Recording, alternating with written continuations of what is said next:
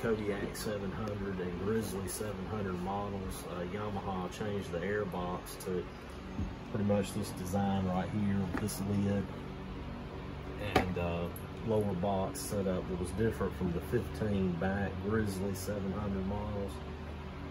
And the biggest flaw in it was is the sealing surface of the filter meeting the front wall, plastic wall of this um, air box here, allowing uh, microscopic particles of dust and uh, dirt to get by because it's just uh, just a not a very not a good design at all. Um, Yamaha boasted it being a toolless design, being able to remove the filter, you know, just like that.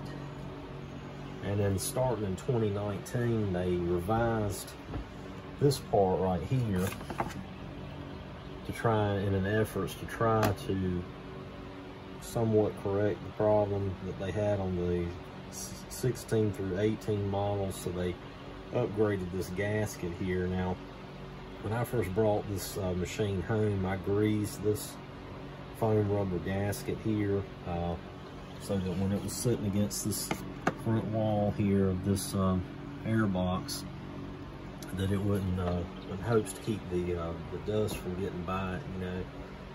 Um, we're going to be installing the EHS Racing um, intake mod on this uh, 2019 Kodiak 700 today.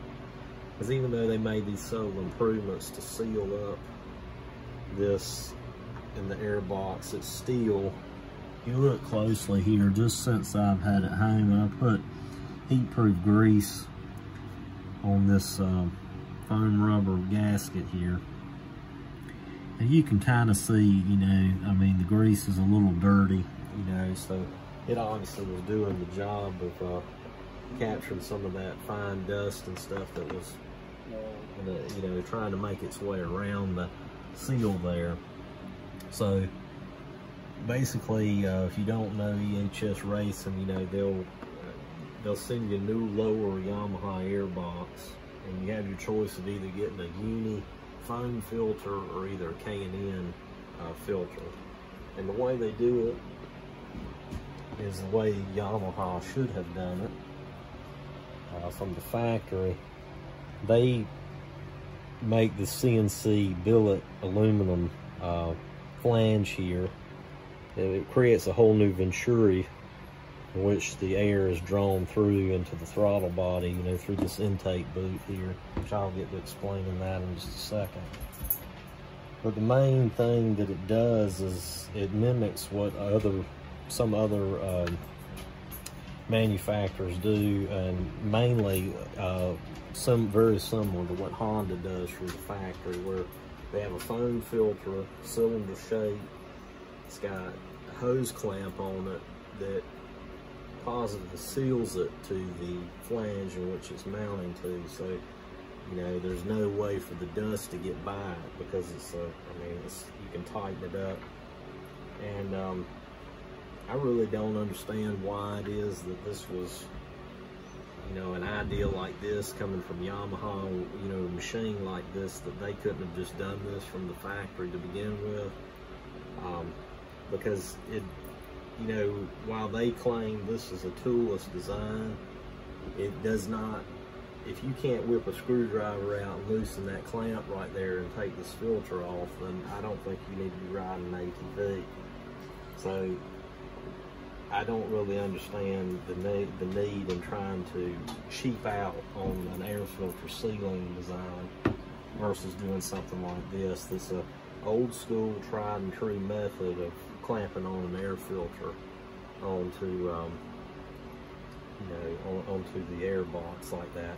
Another thing they do too, you can see here, is they remove this plastic plate here. Up under this plate here is a chamber, and uh, you have on this side you have your air induction system hose, which is part of an emissions thing Yamaha has where it draws fresh air from the air box and routes it through this tube up, and it's a solenoid valve that opens up and goes into the manifold uh, where the uh, header meets the exhaust manifold port up on the head. In an effort to reduce emissions. And um, then you have your crankcase breather hose, which comes right off up here on the top of your cylinder head, allows uh, blow-by gases and pressure and stuff to vent off the cylinder back in here. Again, they round it back in here because it's an emissions thing. They figure it gets sucked back in, back through the motor. It's going to reburn some of those vapors and stuff that comes off that cylinder head. Anyway, what they, they do at EHS Racing, they take and remove this plate off here. Get this old cheap brown glue off, this pops off.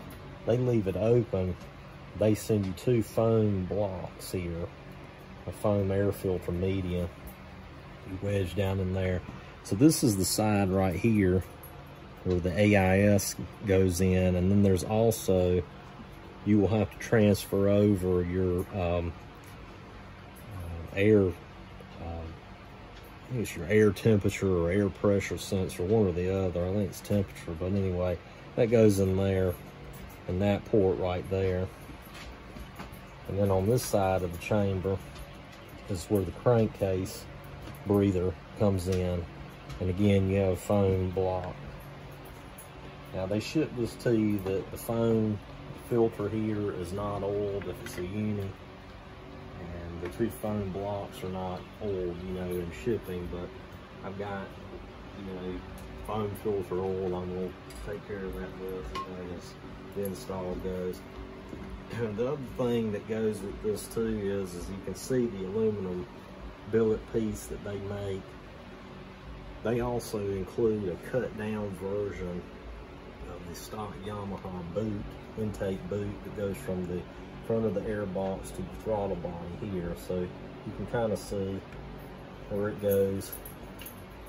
And this is the only, you know, one of the few things that you actually have to assemble. They recommend putting a little WD-40 on the inside of this boot, working it up in here, which we'll be doing eventually throughout this install. And that little ear on the boot goes between those two uh, notches right there. That's how you know you've got it in the right position. You'll also be reinstalling right here this factory hose clamp from here putting it on this part. And then there's another factory hose clamp that will go up at the throttle body end uh, once we get all this put together and assembled oh and one other thing I forgot to mention you can't see it right now I'll show it later on when we get this air box out.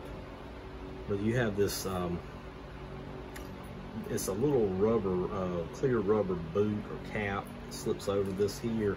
It's basically like a drain for your air box if you get like water or debris in it and it just kind of, I don't know, maybe hangs down about that far, uh, held on by a little clamp there. That will be transferred over to this as well from this factory box you don't want to leave that, you know, exposed. Otherwise, you kind of forfeit your whole snorkel, you know, factory snorkel capability that you have. You leave a hole on the bottom of it. So the air box, uh, you can see here is held on by screws, bolts on each side. Um, one here, one there. They kind of hold in the frame rails, and then the rest of what holds the box is is the hose clamp to the front of the throttle body here. So basically, you've got to transfer a few things over to this new box and get the old one out, and then start your reassembly. So that's what we're going to be working on today. And like I said, this is um, kind of cheap insurance to ensure you know the dust stays out of the motor. Uh, even though they, they tried to do some subtle improvement, you know, the 19, 2019 ups, it's still, you know, it's, a, it's an area of concern. Um, and this will be a much more worry-free thing when you get in dusty situations and stuff. You're not going to be like all paranoid thinking, well, you know, is there dust getting sucked into my engine? You know, and, and everybody knows you get that in there, doesn't matter how new the engine is, it'll wear the rings out, and next thing you know, it's burning oil. And uh, you've, you've already prematurely took life off of your engine. So that's the whole reason for this. You know, it's uh, I like it better because it's, it's so much like what the Honda uses, where you, you just you know you have your foam filter and a hose clamp. You know, and it's uh, pretty straightforward, not not complicated. So we're gonna get to it. So this uh, right hand bolt here, uh, which is down in there, uh, you kind of see the uh, plastic protruding outward is what the, the bolt actually screws into. Um, it's a little bit of a pain on this right hand side to get to because you can see there, there's you got this plastic here and then these electrical connectors, but did manage to get it off. We'll see how it goes about getting it back in. The one on the left-hand side is really easy to get to, though. Um, like I said, you know, these are part of what holds the air box in. We got these two bolts. What size are they? 10 millimeter. 10 millimeter. So get these two out, and then um, the next thing will be, you know, loosening the clamp up here at the throttle body, then disconnecting these hoses. And um, an Allen wrench, small one here to uh, this particular hose clamp here. For some reason, uses an Allen screw instead of a um, regular screw. This is the one up here on the end where the throttle body is.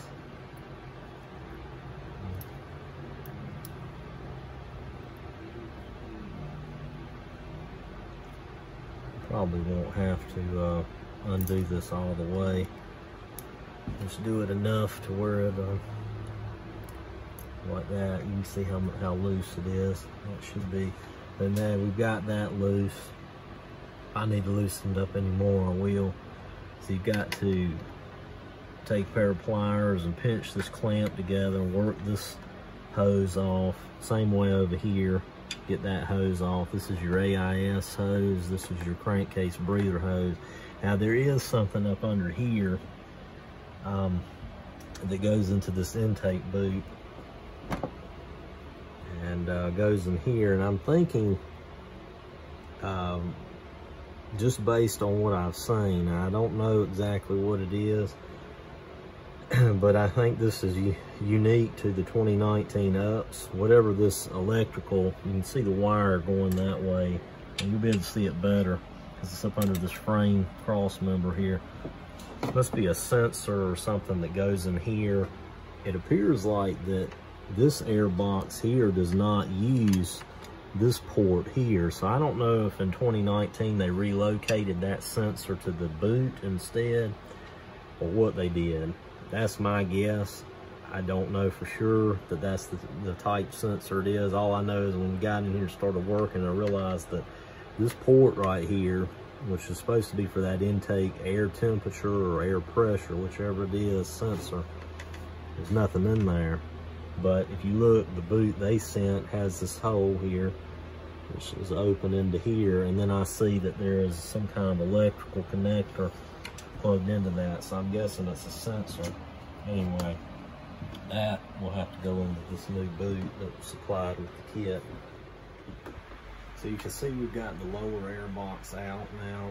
Uh, you know, got two bolts on each side, loosened the hose clamp and met with the throttle body up, got that off. Um, these hoses, you've got the uh, crankcase breather one there, air induction on this side here. Um, even when you get those clamps back, it took a little persuasion to get them to loosen up uh, from this um, these little nipples here. Um, so anyway, just like I, I figured, there is this sensor here, which this you can see the connector here plugs over top of that.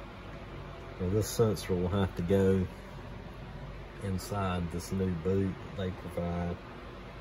And basically, you know, this boot is, is the same as this one. It's just been cut down. Basically, the part from, well, part of it, I should say, that is behind here. And then this flange piece that opens up into here has been cut off by EHS. So anyway, like I said, here is that um, that little plastic boot thing that goes on the bottom of the new air box. You can see from the factory there's a lot of filter oil that is pulled up into that. Um, so when I take this off, you know, I have to be on the lookout for that. This is held on by this little pinch clamp here. That will be transferring to the new box. So that's that little boot I was talking about drain for the um, This is the sensor here. Uh, took it out of the original intake boot. Uh, it was a little bit tough to get out and uh, finally got it out though of the original boot. So this is the port, the boot they include, which it will go back in. You see it goes in right much easier than it came out. And then once everything's back together, you know, this plugs in like that, which we'll show later on. But right now, I needed to get that back inside. This here is, in fact, what I, um, I thought that it was. This is what uh, it's a sensor for the uh, the air box, the air. I believe it's the temperature. Uh, could be wrong about that. I know the Rancher has a sensor that looks just like that. The only difference in it is, is it sticks inside the air box on the Rancher um, is the only difference, but it looks just like that, kind of a pyramid shape, cone shape uh, sensor. Anyway, so now we got to work on getting this intake boot onto the new lower air box. All right. So we got the uh, EHS supplied intake boot on. Um, it took a little bit of persuasion to get it on even with the WD-40, but we finally got it on there. Uh, you can see the factory hose clamp has been reinstalled and tightened down in this location. And then the other factory clamp that goes to the throttle body there has been set into place. It's not tight. You want to leave it, you know, loose. But at this point, we're going to get the air box into position here. Um, first thing I will want to do is fit this end of the intake boot over the throttle body throat there.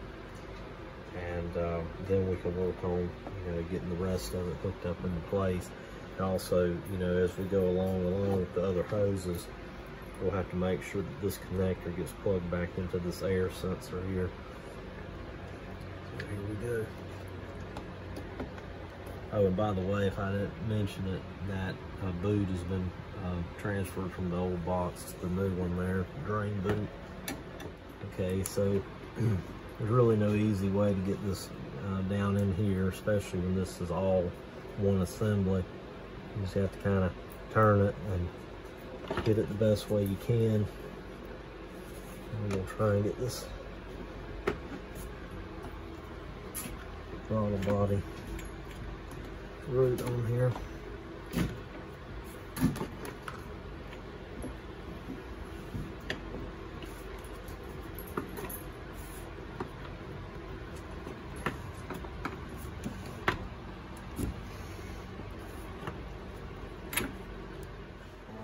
So um, it took a lot of uh, effort to get this right hand bolt in that holds the uh, air lower air box onto the right frame rail here.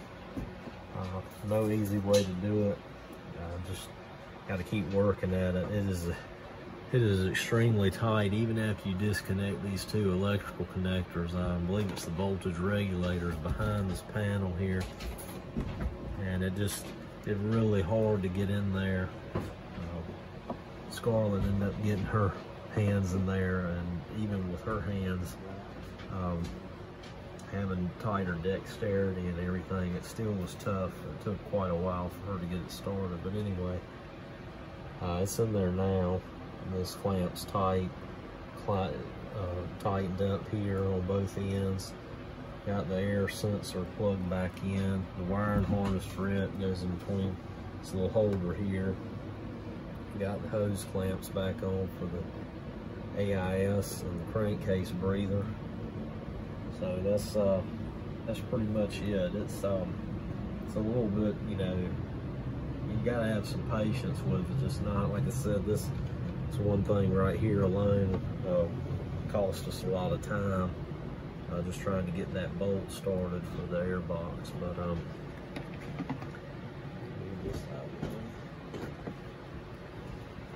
air box lid on.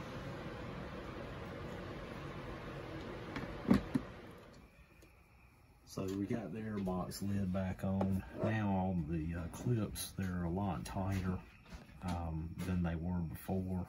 Um, these top two here, you can pretty much get with your hands. These back two here, particularly this one on this side, there's not much room for you to get your finger behind it.